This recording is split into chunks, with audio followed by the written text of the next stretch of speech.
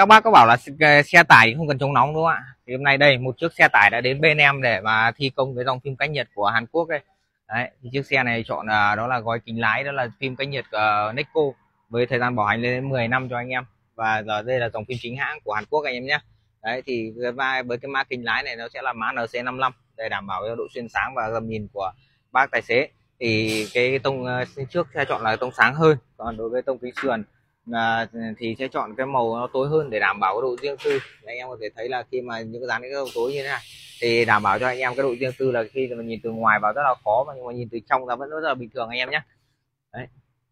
Với cái thời gian bảo hành gói phim lên tận 10 năm cho anh em ờ, độ cách nhiệt lên đến khoảng độ 90 93 phần trăm à, và độ cách nhiệt cách ờ, cách tiêu UV đến 100 phần trăm. Đấy đảm bảo cho anh em cái là thứ nhất là bảo vệ sức khỏe cho anh em làn da và chống nóng tốt cho anh em để anh em chạy cái cái điều hòa nó sẽ nhẹ nhàng hơn, tiết kiệm nhiên liệu hơn.